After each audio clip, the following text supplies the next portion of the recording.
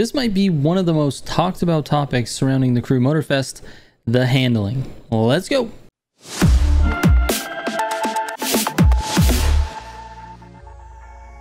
Alright, first I wanted to clear up something that I said in a previous video. I said, and I still believe this, the handling in the Crew Motorfest is similar to the Crew 2. I did not say that it's the same. I've played a lot of early access of the Crew Motorfest and it's still my position that the handling is not different enough to persuade someone who really hated the Crew 2 handling to like the Motorfest handling. Now that opinion stands. Alright, let's talk about the actual differences though. The first is that they actually redesigned the handling basically from the ground up. So even though my position is that it feels the same, it's actually not. It actually is different. In this interview with Red Bull Gaming, Aurele Ganat, sorry if I butchered your name, says exactly that. Compared to the Crew 2, we kinda started from scratch.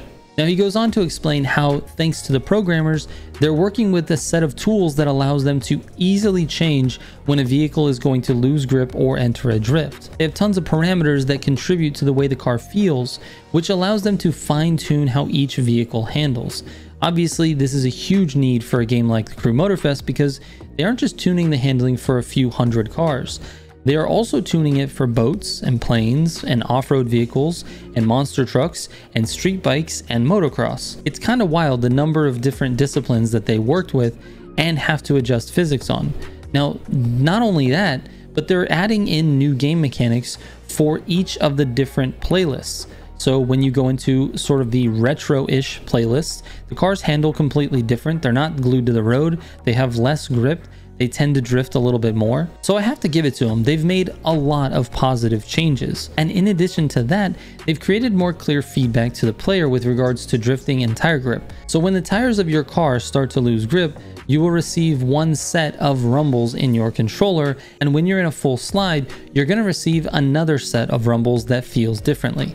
That feedback is way more important than you even know. It seems insignificant, and I know there's a lot of players out there with the vibration turned off. But the slight rumble when the tires are about to lose grip is huge, and it allows you to make adjustments based on what you feel and see rather than just what you see. I know this doesn't directly have anything to do with the physics of the vehicles, but it definitely speaks to why some people have reported huge changes in the handling. So with these tools and the new user feedback systems, what experience did they actually intend to create for the players? Well, Aurele says later in this video that compared to the Crew 2, the Crew Motorfest has a more sim feeling. Now personally, I still think that it feels very arcade.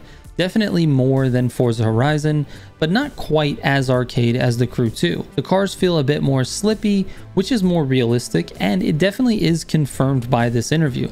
Aside from that though, they didn't stray too far away from the Crew 2, which I actually like. I was never one of those people who hated the Crew 2's handling. It's an arcade game and it should feel like one. It's not supposed to be super realistic. And by sticking to an arcade handling model, you make the game more accessible to people who maybe don't play racing games all that often, or they're just looking for some fun with cars. Anyways, what I think about the handling model really doesn't matter. What matters is what the majority of the player base thinks. Because if the majority of the player base thinks that it's different than the Crew 2, and they feel like it's different than the Crew 2, that means that they like it more. And if more players like it, that means more people are going to enjoy the game, and that means more people to play with, and better lobbies, and more support and better features from the Crew Motorfest. Anyways, if you want to watch the whole interview, which is only about 4 minutes long, I'll leave a link in the description so you can check it out for yourself. And if you have any questions for me, don't hesitate to send me a DM. I answer, I read every single message. Send it to me on Instagram, Twitter, or Discord. Alright, thanks for watching. I'll catch you on the next one. Trigger out.